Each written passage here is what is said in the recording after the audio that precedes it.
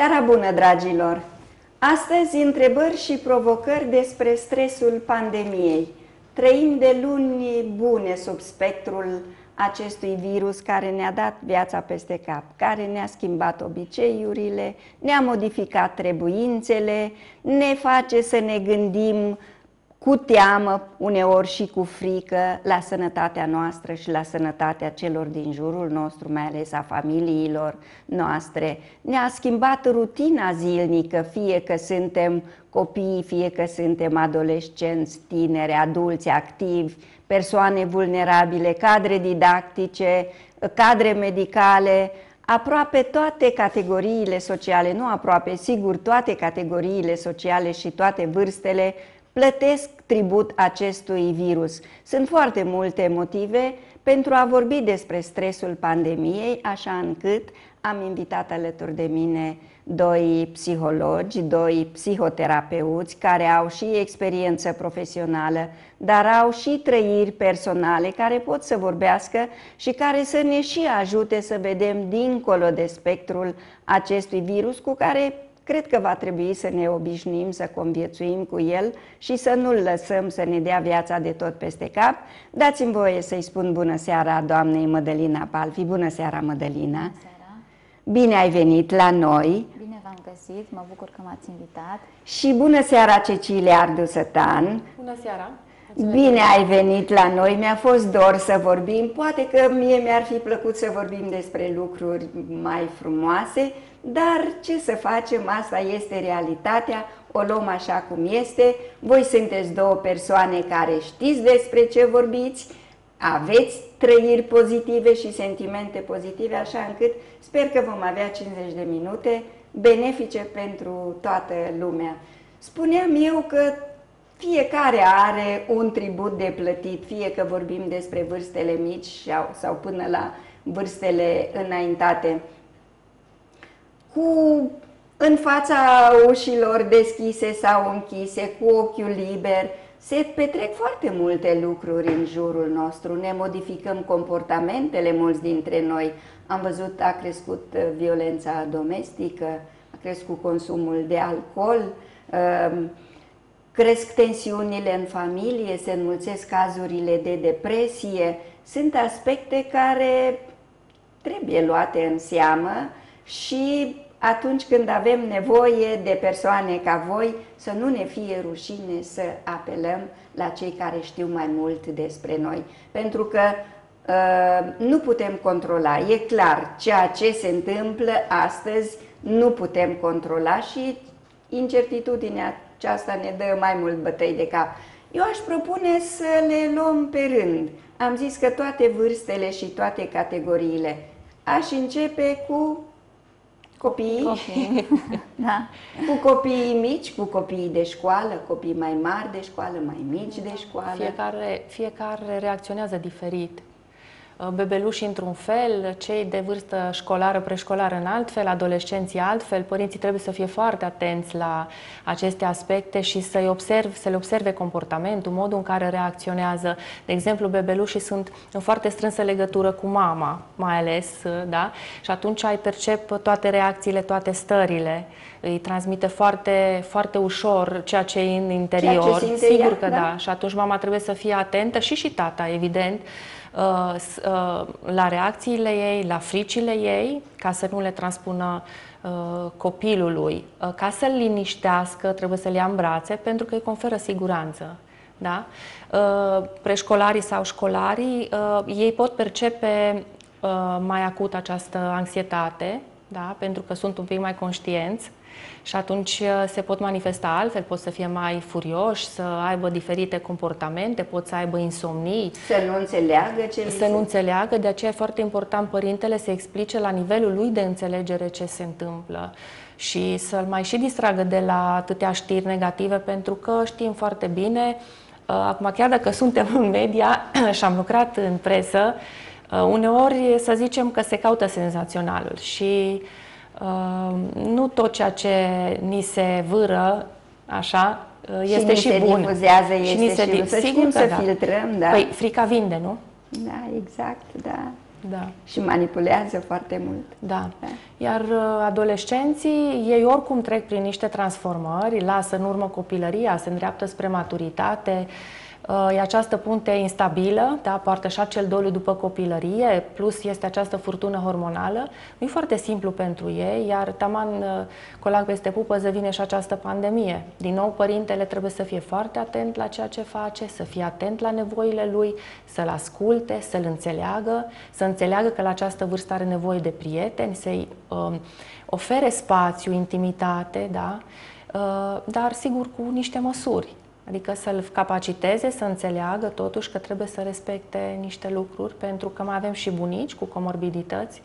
Da, despre nostru, care vom da. vorbi. Uh, părintele trebuie să-l facă pe copil să se simtă în siguranță, dar în același da. timp părintele trebuie să Părinte știe să-și... Să, uh, să știe să-și controleze anumite da. porniri, anumite comportamente și, și emoțiile propriu-zise pentru că nu numai, da, bebelușii sunt cei mai apropiați de mamele lor și vibrează rapid după toate emoțiile, dar uh, cred eu, și până la 10-11 ani împrumutăm foarte mult din emoțiile părinților și în momentul în care simțim că nu știu să gestioneze anumite probleme, în momentul în care îi vedem stresați, tensionați, clar preluăm de la ei și copilașii încep să facă tot felul de prostioare prin casă, iar atunci părinții încep să se uh, descarce pe comportamentul lor și intră într-un conflict. Părinții generează um, comportamentul, să zicem,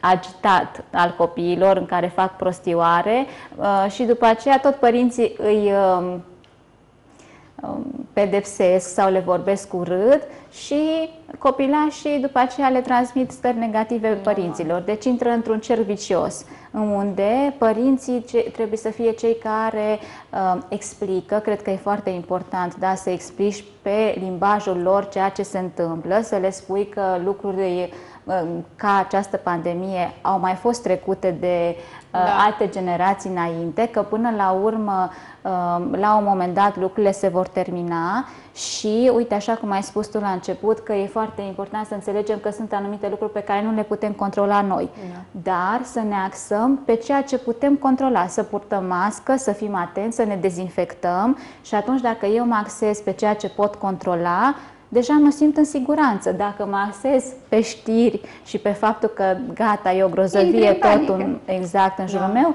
intrăm în panică. Și să mai facă și o diferență între frică, care este sănătoasă, este o emoție exact. sănătoasă, firească, da, și panică. Panica te paralizează, nu mai gândești rațional. De aceea e foarte important în această perioadă să fim raționali Uh, să vedem cum ne raportăm la această pandemie. De multe ori vedem și chestia asta cu masca la școală. Face, mi se pare, un caz extraordinar de mare dintr-o mască. Până la urmă e o mască cât de mult suferă copilul. Ok, înțeleg, dar până la urmă cam asta e modul este în care... Este în beneficiu care sigur, trebuie să evaluezi care sunt cea, cel mai rău Beneficiu rău, risc, exact spune. ca și la exact. medic. Da, când ia un tratament cineva, să zicem, pentru diabet, da, poate să aibă efecte secundare, dar beneficiu risc, beneficiu de a fi, de a veni în sprijinul sănătății persoanei respective este mai mare decât dacă n-am luat tratamentul. De aia trebuie să gândim lucrurile și să fim foarte raționali.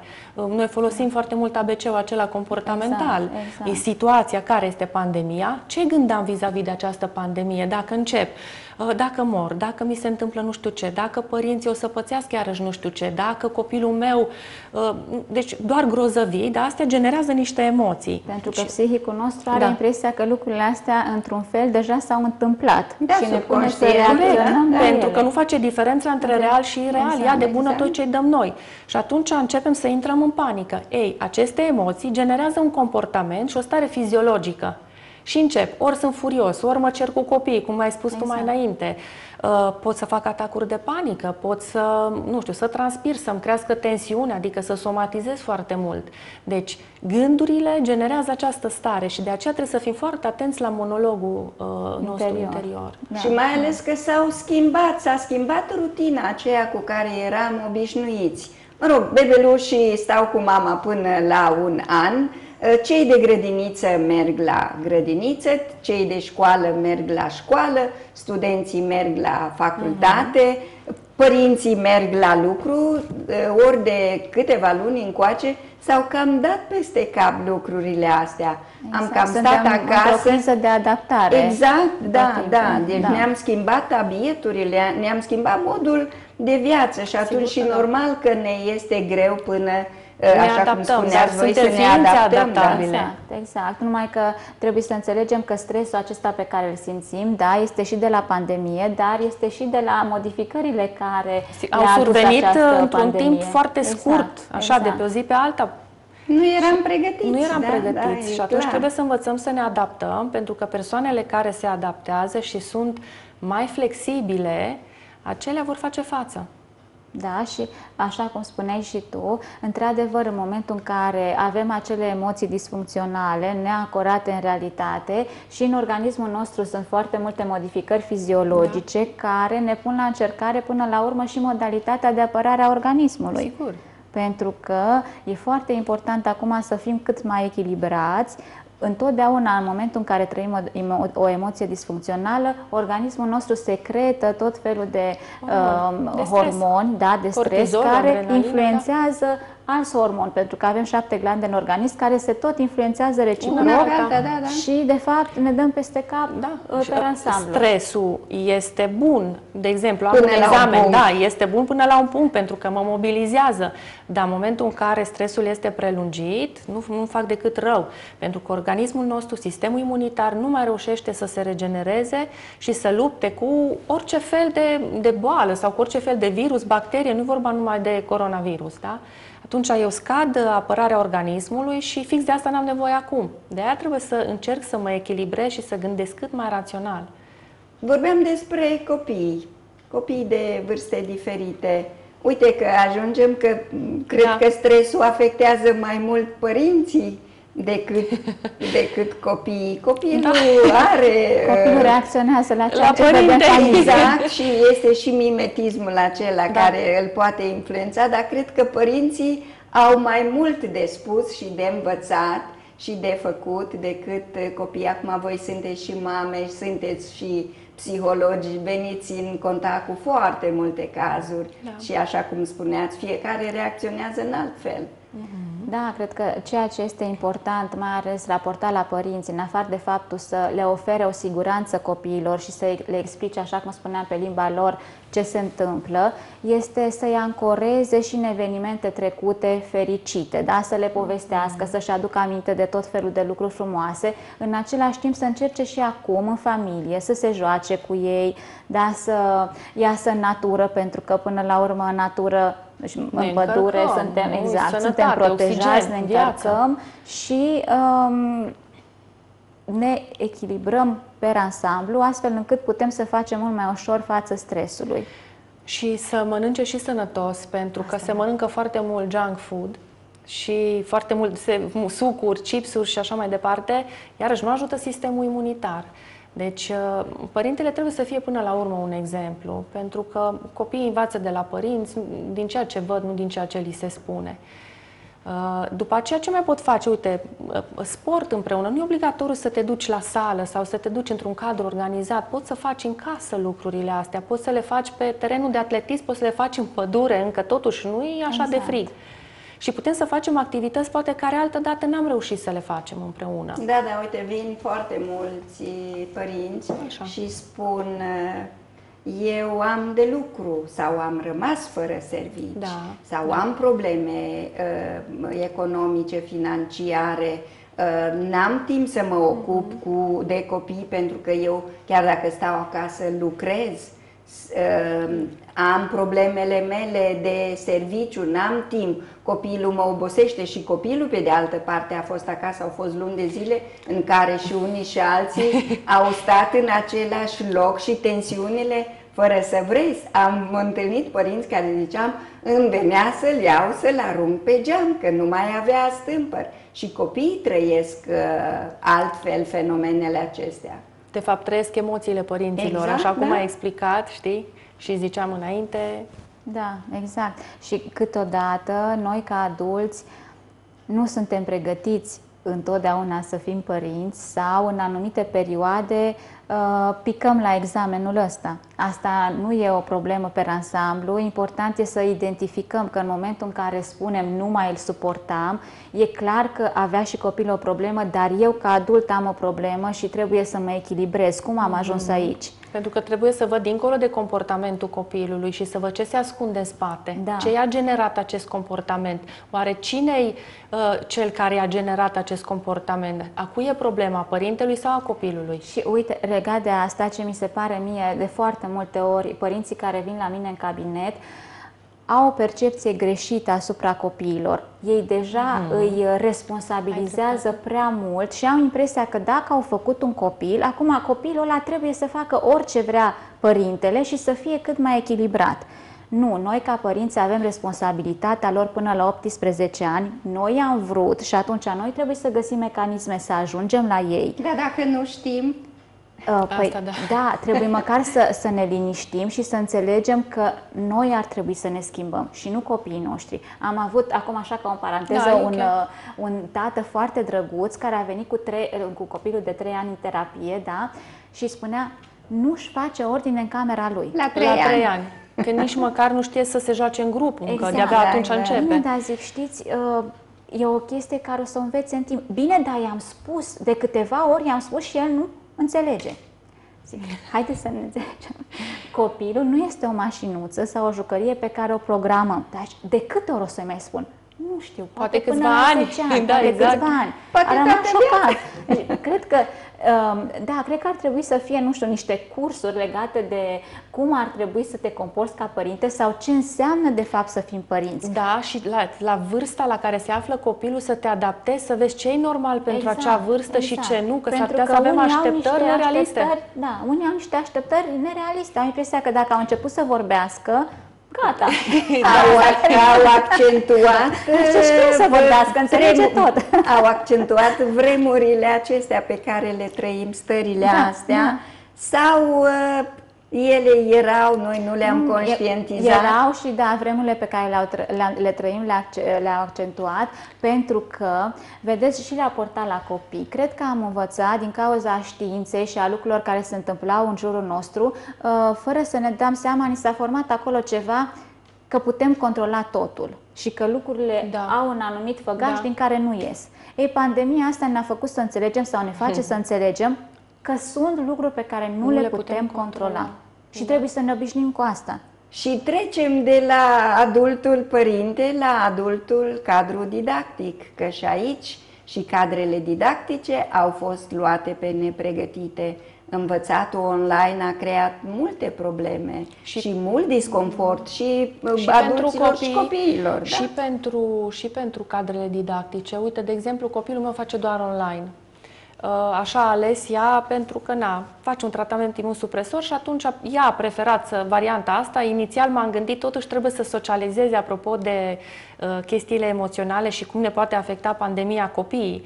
Pentru că ei au nevoie de interacțiune, dar faptul că face sport și A interacționează acolo... m-a- înțeles ce se Da. întâmplă? I-ai explicat? sau? Da, e un copil destul de matur Da, da, și am nu, văzut, știu. da, nu, nu-mi fac griji, deci uh, acasă, dacă a rămas să facă uh, lecțiile online, în primul rând școala n-a funcționat două săptămâni online, deci doar cei care au fost, uh, oricum ea este la uh, programul acela modular, două săptămâni Cu o două, parte cu din două. copii, îs la școală și două săptămâni uh, sunt acasă. Ei, cei care au rămas acasă n-au făcut două săptămâni absolut nimic.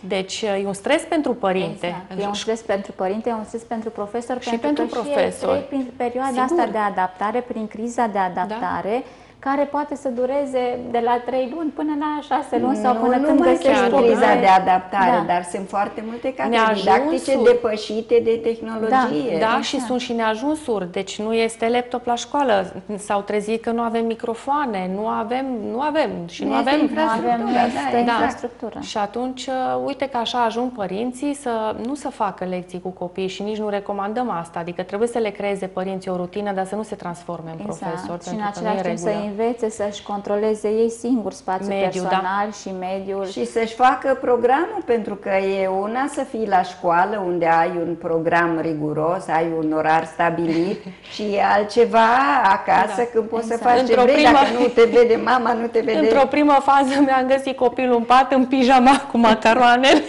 în mână în timpul orei. Deci a zis așa, nu se face școală, copile. Totuși să ne așezăm Ia, la vă birou.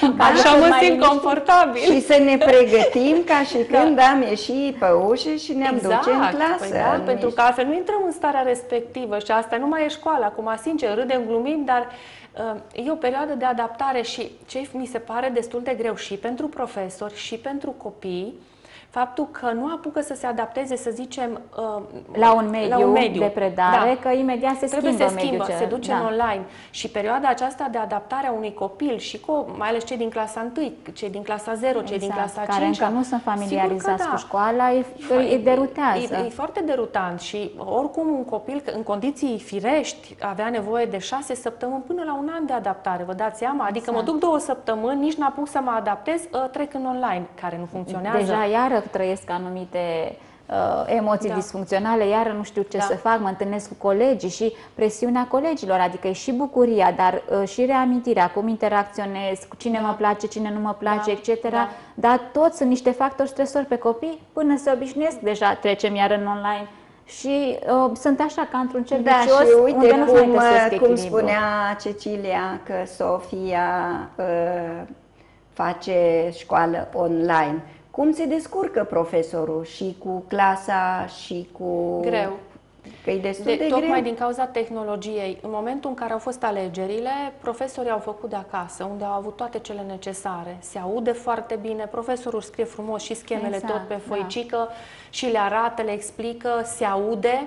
Ei, când sunt într-o clasă, unde e clasa pentru o capacitate de 30-30 și ceva de copii, cu o tablă, un laptop și ăla amărât, camera bate cumva pe tablă dintr-o parte unde bate lumina, uh, profesorul e cu mască, de-abia l-aud copiii din clasă, Și nu înțeleg acasă ce nu mai spune. înțelege nimeni nimic. Dacă copilul vrea de acasă să răspunde, nu întotdeauna funcționează și atunci el stă așa, participă, dar nu e activ. Bun, dar uite ce, ce idee mi-a venit sau ce vreau să punctez, că într-adevăr sunt problemele astea. Da. Numai că dacă părinții pun foarte mult accent acasă și le discută împreună cu Exact. copiii, copiii au impresia că e o, e o catastrofă ceea ce Exact. se întâmplă. Și am avut mulți copii care au venit și zice, nu pot să suport că îmi pierd un an din viață. Stai Copilul puțin. spune? Exact. Da. Îți dai seama Nu, că erau ideile. E, Da, de unde veneau. Nu ne pierdem un an din viață, chiar dacă ne este mai greu, chiar dacă suntem stresați. Psihicul nostru învață, noi evoluăm, nu, nimeni nu ne fură anul ăsta din viață. Și uh, asta e tot așa o tendință de a catastrofa, da? Până la urmă, așa cum spe- spunea înainte, în începutul pandemiei, dar e foarte adevărat, bunicii noștri au trecut prin războaie. Nu le-a luat nimeni Exact. ani din viață, au trecut prin războaie, viața a mers mai departe. Deci important e să-i facem să înțeleagă că viața nu are numai un parcurs așa liniar și care merge în sus. Nu, viața e cu suișuri și coborâșuri, dar asta e normalitatea.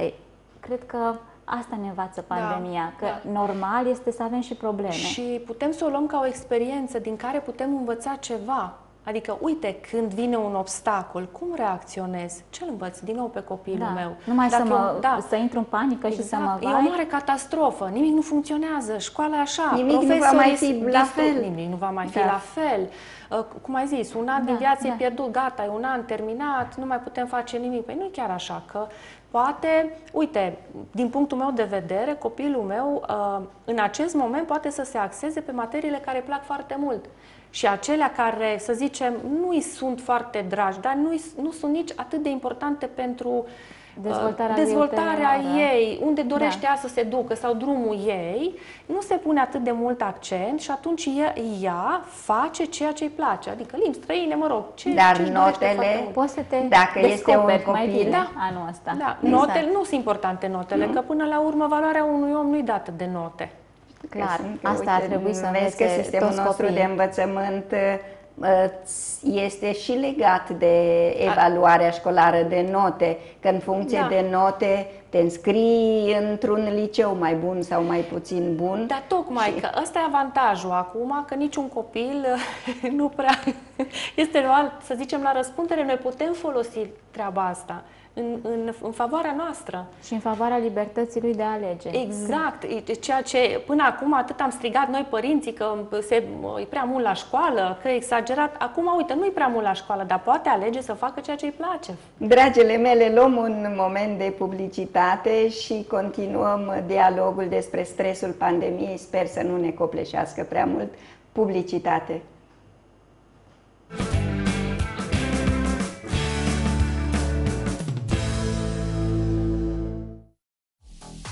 Schimbul de anvelope nu a fost niciodată mai ușor și mai sigur.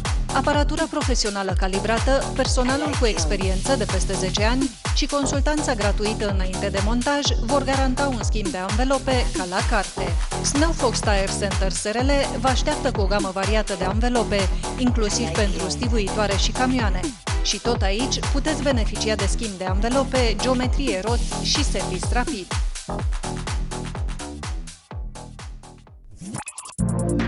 Clarfon lansează familia completă de aparate auditive ShineRef Plus cu o promoție specială valabilă până pe 30 septembrie 2020.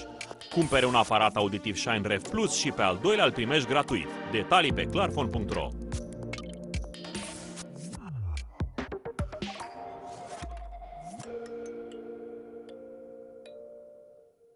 Universitatea de Vest Vasile Goldiș Baia Mare face înscrieri pentru învățământ universitar nivel licență 3 ani. Organizăm cursuri de calificare pe durata cuprinsă între 3 și 9 luni. Informații puteți obține de la sediul Universității Vasile Goldiș Baia Mare, strada Culturii numărul 5. Prelungește viața mobilierului de bucătărie sau baie cu bla de compozit. Marmurița produce blaturi de compozit pentru bucătărie sau baie, chiuvete, blaturi cu chiuvete incorporate, căți de baie și pervaze de orice culoare.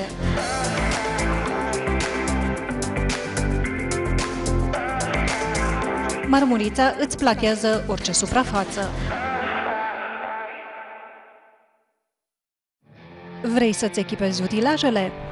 Agromir îți oferă consultanță în alegerea celor mai potrivite anvelope, noi sau second hand, anvelope agricole, anvelope industriale, anvelope autoturisme, anvelope autoutilitare, camere și jante.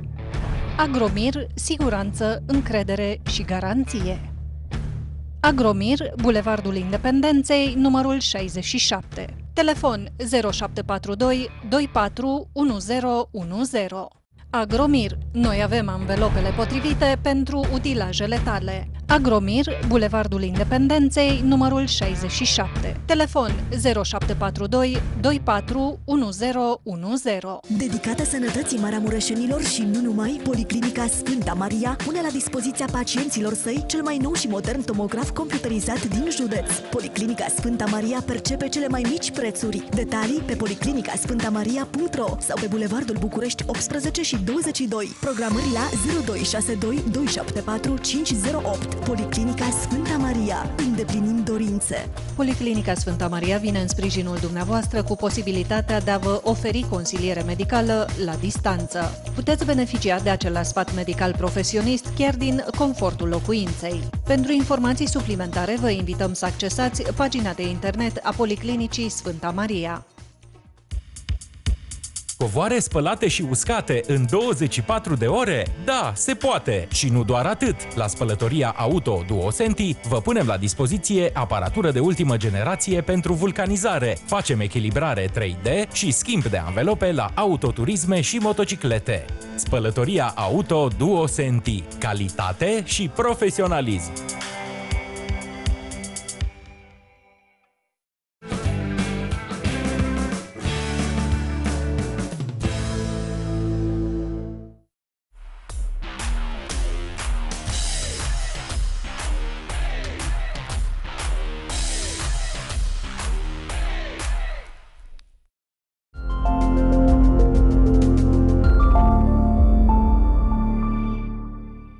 Tu mi-ai salvat viața. Eu voi face totul pentru a o salva pe a ta și pe a celor dragi nouă. Oricât de greu ne-a fost sau ne va mai fi, nu vom irosi efortul tuturor. Grija pe care ne-o purtăm va învinge virusul. Respectăm regulile, știind că doar noi facem să conteze viețile salvate. Doar noi aducem normalitatea mai aproape, în fiecare zi, ca o echipă, o echipă pentru viață. Campanie de informare susținută de Guvernul României.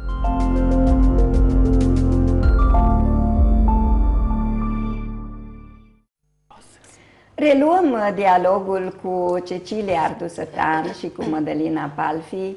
Vorbeam despre cât de mult ne copleșesc emoțiile și cât de bine știu sau cât de puțin bine știu părinții să-și controleze emoțiile. E bine să ne arătăm emoțiile sau să ni le mascăm și să ne facem că suntem uh, ok? E bine să ne arătăm emoțiile, pentru că așa învățăm și pe copiii noștri să-și identifice emoțiile și să-și dea seama că emoțiile negative, într-o situație de viață ca aceasta, sunt normale. Aici e frica. Da, frica, frica te salvează. Panica, este un nu. mecanism de apărare. Da, normal. frica te salvează pentru că te ajută să pui în practică lucrurile de care ai nevoie să te protejezi panica, da, frica exacerbată și neancorată în realitate, da, te dezechilibrează. Dar împreună, vorbind despre asta, căutând soluții, văzând, așa cum ziceam împreună cu Cecilia, ce să facem noi, da, care e pătrățica noastră și cum putem noi să acționăm, atunci începem să avem un sentiment de siguranță. Trăim uh, în incertitudine, așa cum spuneam, și incertitudinea nu o poți corecta cu certitudine că nu există certitudine. Ajungem la persoanele vulnerabile, la persoanele de vârsta a treia, pe care zicem că trebuie să le protejăm, le ținem acolo să nu iasă pe stradă, să nu se plimbe și dintr-o dată ele devin anxioase pentru că nu mai comunică, mai ales dacă nici n-au familie lângă ele, nu mai comunică, se simt singure, se simt neputincioase și vulnerabilitatea aceasta, vorbeam despre imunitate, mm-hmm. te omoară. Mhm. Bine, aici cred că și statul are diferite programe să ajute pe cei vulnerabili, după aceea sunt ONG-urile care ajută, sunt aceste uh, voluntariate voluntariat și fiecare din noi cred că suntem responsabili dacă știm că avem un vecin sau pe cineva la țară sau pe cineva din familie care este chiar singur și nu are cine să-l ajute. Asta ține uh, de empatie, de responsabilitate, de responsabilitate socială, civică, da. efectiv. Da. Simțul ăsta civic mie mi se pare că e cam dispărut de la noi. Și aici, apropo de ce spui tu, uh, eu am fost foarte dezamăgită de cei care uh, contestă aceste măsuri de siguranță până la urmă, da? Păi au murit cei cu uh, probleme. Cu, da, da. da. Uh, nu e chiar așa, pentru că o persoană care are diabet, să spunem, la 40 de ani, ea poate trăi până la 80 de ani cu diabetul ăla, sau cu o hipertensiune, sau cu un AVC, da? sau chiar cu un cancer. Exact. Sunt oameni care au șansa la viață. Ori acest virus, într-adevăr, le poate pune viața în pericol. Uh, nu este frumos să, nu știu, mi se pare sadic să vorbești în felul ăsta. Sau am mai auzit expresia uh, că e așa, selecție naturală. Oricum trebuia să Oricum moară. trebuia să moară. Păi, da. atunci Aici... Deci am mai ajuns în secolul ăsta unde putem să salvăm vieți. Sau da, avem exact. Posibilitatea să salvăm avem vieți. posibilitatea să salvăm Dacă vieți. negarea aceasta și că spuneam la un moment dat că trăim și într-o anume conspirație, unii cred în virus, alții nu cred în el, unii spun că este contagios, alții spun că este o poveste și că gripa este mai, mult mai rea și mai agresivă decât uh, acest uh, COVID. Și e, e, e foarte greu să, că nu mai știi ce să înțelegi și cum să te aperi și de cine să te aperi, că te Mhm. aperi de ceva invizibil, nu, nu știi Exact. ce să faci. Din păcate, accesul la informație sau la accesul la orice tip de informație Avem și cea prea multă, neavizată este nefiltrat. prea mare, nefiltrată și atunci este normal că dacă noi citim informații contradictorii, mulți dintre noi să nu mai știm ce să Și credem. autoritățile lasă această Exact, impresie, da. pentru că una Nu fac, vin da, cu- o dată zic una, o dată zic alta și atunci normal că se creează această incertitudine. Nu au o linie Exact. directoare, nici ei. Da. Și la începutul pandemiei au spus Așa. că nu există, după aia că există, după Da, aia... s-au contrazis ei între Masca ei. e bună, nu e Da. bună. Să te dai Și cu, să dezinfectezi cu spiritul bun, nu-i spirit, e bun, da. după aia nu-i bun și atunci pe această incertitudine sunt unii care profită. Da? Da, și sunt oameni lipsiți de educație sau sunt oameni chiar educați, dar pot să aibă o labilitate emoțională. Sunt oameni care fac față așa aceste perioade prin a nega realitatea. Nu există virusul, exact ca și copiii care au, să zicem, o fobie la câine. Fac așa dacă se întâlnesc cu un câine. Și nu pentru există. ei nu există nu câinele. există. Dar Dar când e iau... modalitatea lor de adaptare. Da, de a face față lumii și unii profită de această situație, de aceea aceste teorii ale conspirației. Pentru că pe Voi incertitudine. sunteți psihologi, psihoterapeuți. Uh, Ce le spuneți oamenilor? Ce, vis-a-vis de virusul acesta? Există, nu există? Cunoașteți cazuri în care, care s-au confruntat cu această boală? Acum și în cabinet am întâlnit da, oameni care, cărora le-a fost frică și am a, încercat să îi fac să îi adaptez și să gândească rațional, da? dar uh, uh, situația e la mine în familie. Sora mea care lucrează ca și cadru medical în Lombardia și ea a Zona prins... cea mai Da, afectată. Da, și a prins exact vârful atunci în Italia când uh, știm că mureau cu miile pe zi. Uh, de multe ori uh, mă suna după ce ieșea din tură și îmi spunea că nu, de-abia mai face față, apropo de cadrele medicale și de la noi care deja sunt sufocate în spitalele și în secțiile COVID, că aveau sute, sute de pacienți în urgență și îmi explica pică de pe picioare efectiv sau uh, era foarte traumatizată uh, de cei care mureau sub ochii ei și mă suna și îmi zicea, știi, uite, astăzi nu pot să-i uit ochii, nu pot să închid ochii, că văd ochii. Și culoarea ochilor îmi spunea fiecare client, uh, pacient ce uh, culoare de ochi avea. Îi asista efectiv să moară, pentru că nu mai intra nimeni la ei, mulți, nu toți mureau de fapt singuri și dacă era un asistent, îi asista la toată nebunia asta. Uh, erau oameni care își cereau moartea, adică ajută-mă să mor. Oamenii care spun nu există, e așa o chestie, nu e chiar așa, adică știu din interior, știu ce a trăit sora mea în acele momente. Uh, nu aveau echipament, că la noi în România se plângeau, nu avem echipament. Da, și ea s-a îmbrăcat în saci, nu aveau măști.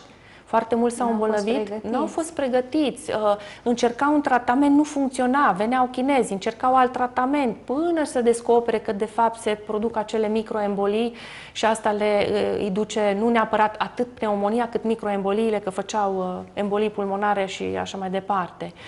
Uh, s-au întâmplat tragedii. Deci uh, îmi zicea, nu mai avem loc la morgă.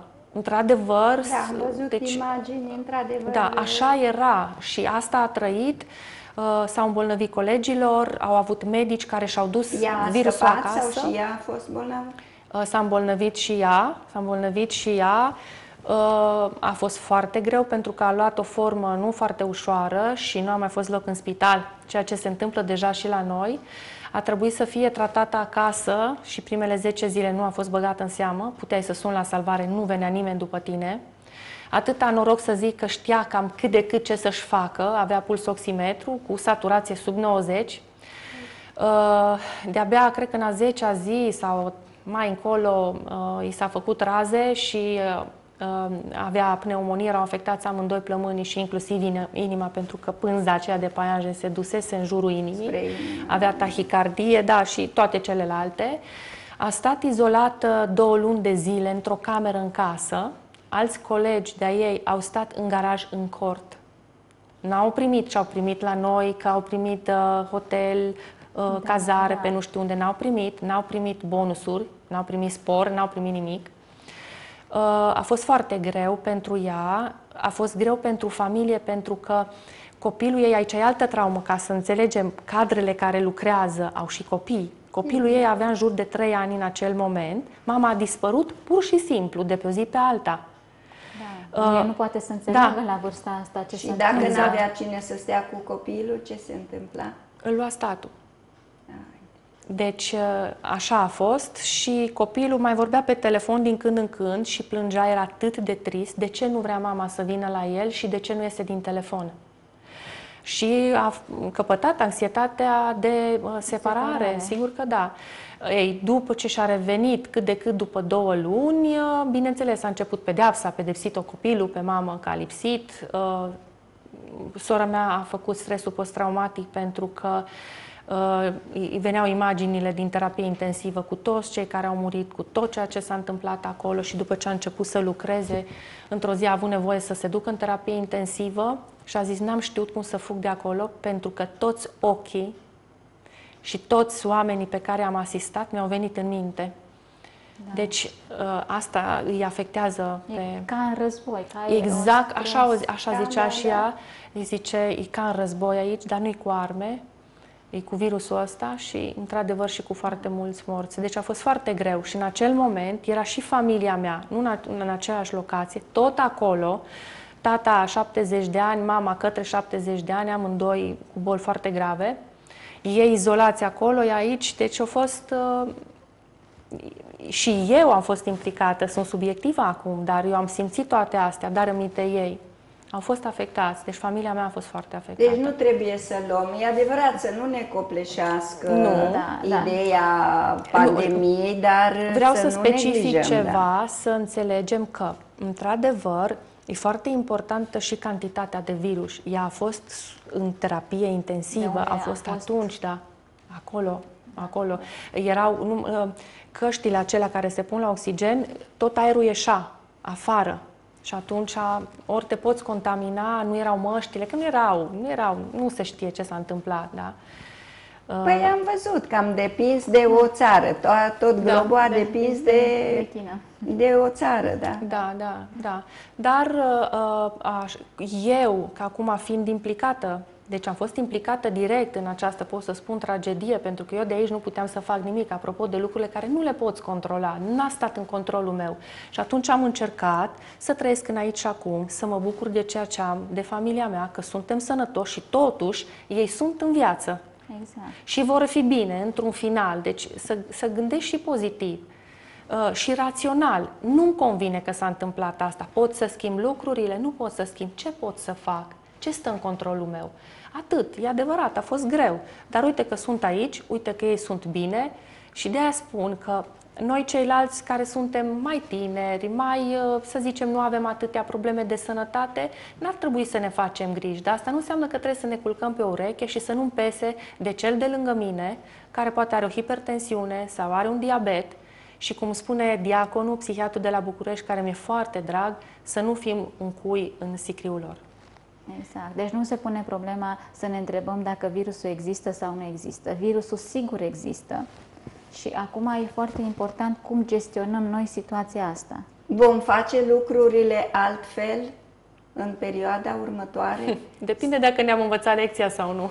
Am învățat ceva, că se pare că de multe ori avem senzația că nu prea am învățat mare lucru. Apropo și de măsurile de protecție, că uite, astăzi erau 3000 de cazuri de infecție, un număr record de morți și pentru aia masca este uh, botniță așa, pentru da, unii. O botniță pentru unii, neimportantă pentru alții, distanța socială nu este importantă, facem lucruri pe care n-ar trebui să le facem, nu ne gândim la ceilalți, suntem și egoiști de multe ori.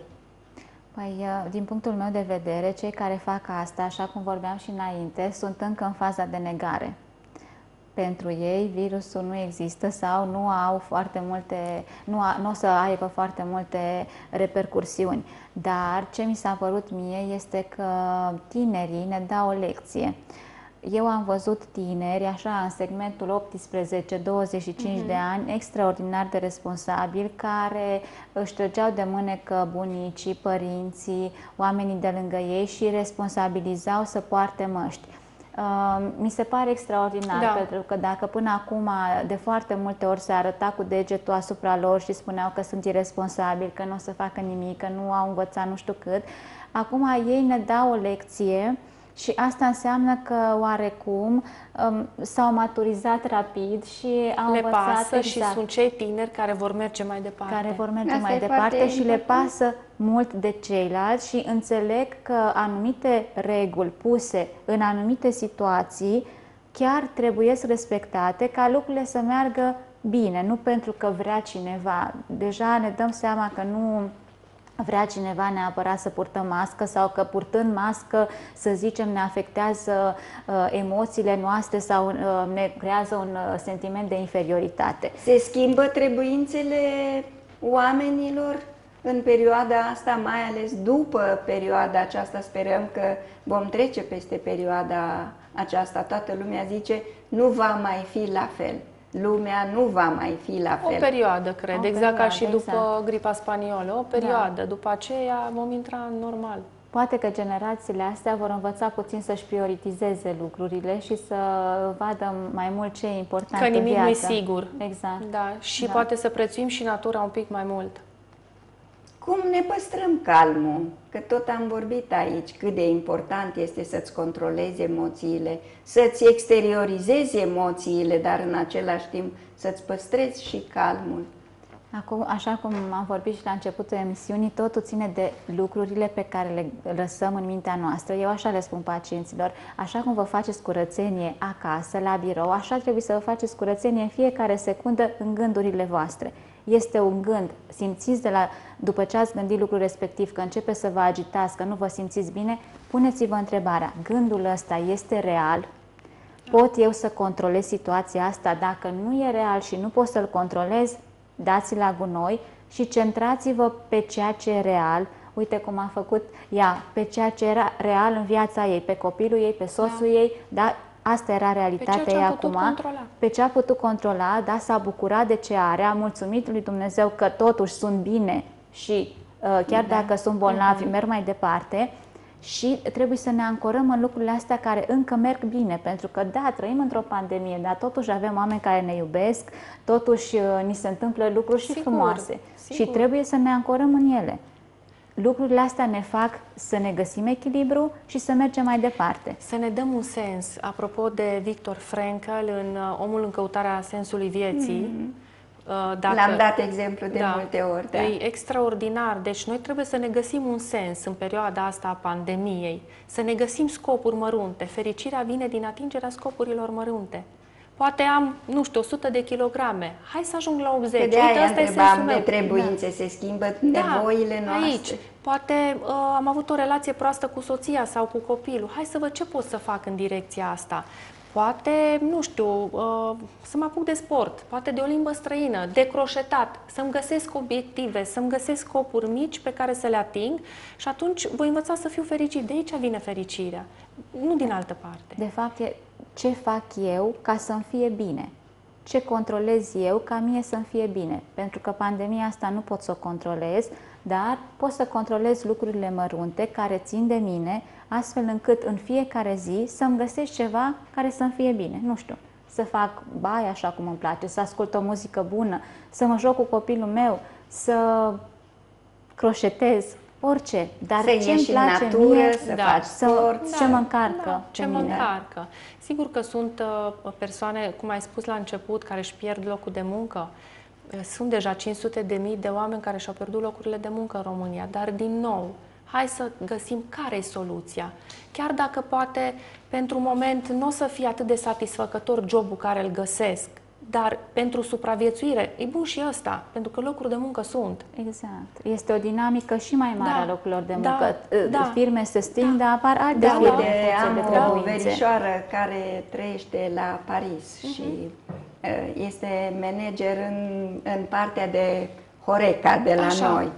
Și spunea, da, este o problemă mare cu locul meu de muncă, că stau de atâta vreme și zice, cred că o să mă reprofilez. Și ce o să faci? Zice, cred că pe moment o să mă duc să lucrez într-un magazin Ia uite. Deci deja aș găsea soluții. da, de, Care la, este de soluția? acolo s-a dat și au zis Da. să lucrez, trebuie să-mi țin mintea ocupată, să și câștig niște bani și să-mi imaginez că viața nu se termină și că într-o bună o chestie zi provizorie. mă voi întoarce Sigur acolo că da. unde... Dar mulți o iau, ei nu mă duc acolo că mi-e rușine, cum adică de aici să zic, nu știu, am lucrat într-o firmă de contabilitate, cum să mă duc să...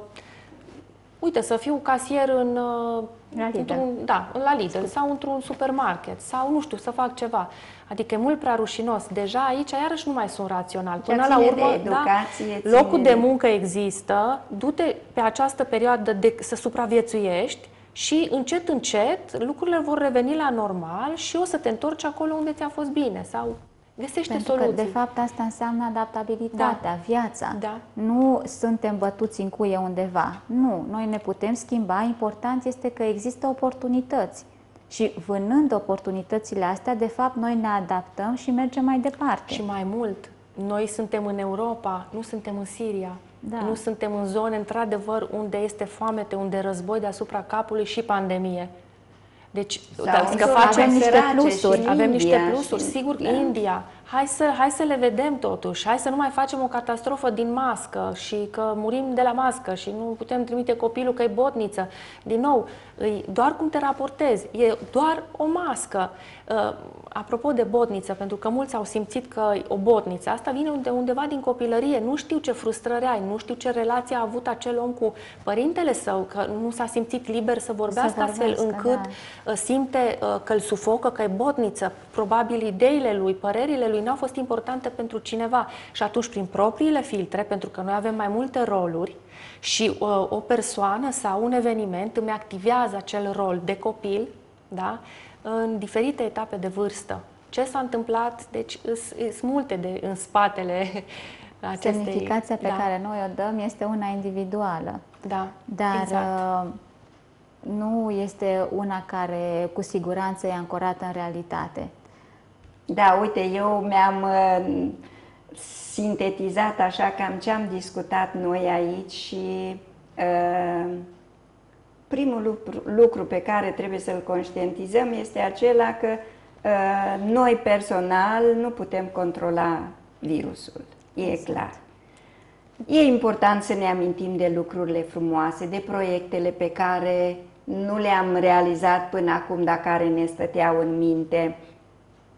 E important să ieșim în natură, să facem sport, să ne concentrăm pe partea pozitivă a lucrurilor, că optimismul alungă de multe ori stresul, uh, să avem grijă de noi și de cei de lângă noi, că asta înseamnă că conștientizăm ce se, ce se întâmplă. Mai avem două minute de emisiune, vă las pe fiecare câte un minut să încheiem cu, pe un ton pozitiv, pe un ton uh, din care să înțelegem că trebuie să ne obișnuim cu virusul și că vom scăpa de el și că de noi depinde să fim așa cum trebuie să fim. Păi, în primul rând, să găsim soluții, să fim cât de putem de raționali, să fim atenți noi ca părinți ce transmitem în jur. Masca e doar o mască și atât. Lucrurile astea vor trece încet, încet, da? Și să nu uităm de cel de lângă noi. Asta e foarte, Foarte important. important să îl căutăm pe cel în nevoie, da?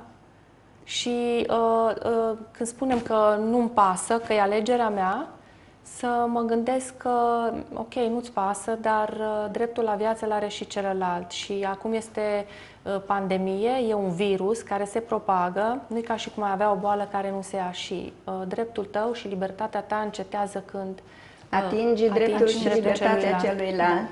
Da. Și poate pentru că acum ne dăm seama că noi îi putem influența și pe alții. Îi putem influența și Da. înainte, dar acum e mult mai vizibil lucrul ăsta. Și să ne bucurăm. Eu îi spuneam unei doamne, eu mă bucur în fiecare zi că e pace, că mă trezesc Da, într-o țară în exact. care e pace. Exact. Și a rămas așa șocată. Zice, da, nu m-am gândit la asta. Păi hai să ne bucurăm de lucrurile care încă sunt frumoase în viața noastră, pentru că e foarte important să facem asta în Și mai fiecare ales cei zi. care avem sănătate, că mai încoace încolo câte ceva, Mai ok, scârție câte mai scârție, ceva, da. pf, de suntem oameni, nu? și suntem în viață. Dar totuși să ne bucurăm, suntem sănătoși, avem o casă deasupra capului, avem ce mânca, să ne bucurăm. Eu zic că ar trebui să mergem pe recunoștință. Și hai să vedem, oare, uite, un exercițiu. De trei luni în care în fiecare zi să scriem pentru ce suntem recunoscători, măcar două lucruri. Asta e foarte frumos. Mădălina Palfi, Cecilia Dusătan, vă mulțumesc frumos că mi-a stat alături.